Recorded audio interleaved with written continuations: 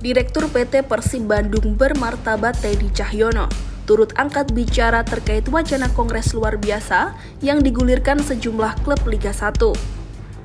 Menurut Teddy, pihak Persib Bandung sendiri saat ini masih menunggu dan menghormati proses hukum yang sedang berlangsung terkait tragedi Kanjuruhan. Sebab menurut Teddy, kepastian dari kasus tersebut lebih penting dibanding keberlanjutan kompetisi. Ada suatu proses hukum yang sedang berjalan saat ini. Kita hormati semua proses hukum karena itu pasti dilakukan oleh pihak-pihak yang berwenang untuk menjalankan itu.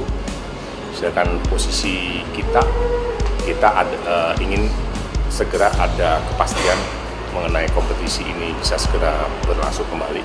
Sebelumnya, Direktur Utama Persis Solo, Kaisang Pangarep, terus mendorong PSSI sebagai induk dari persepak bolaan nasional untuk menggelar kongres luar biasa sebagai buntut dari tragedi Kanjuruhan.